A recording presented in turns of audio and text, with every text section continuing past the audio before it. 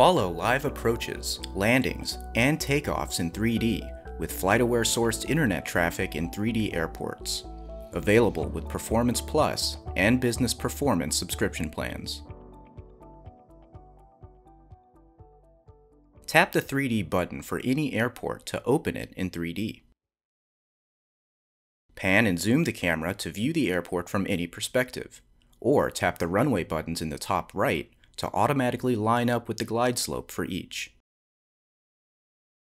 To display live traffic, tap the Layer Selector button in the bottom left and tap Traffic.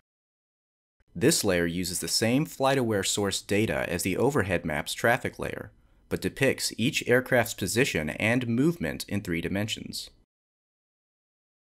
Unlike the overhead map layer, 3D View does not depict ground traffic, although aircraft on the ground may still appear depending on their speed and other factors.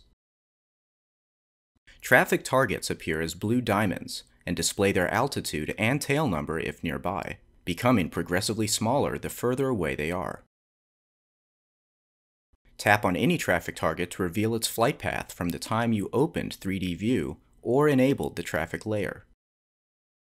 Since ForeFlight interpolates aircraft movement based on discontinuous position reports, an aircraft's immediate flight path may appear to shift in response to new position data.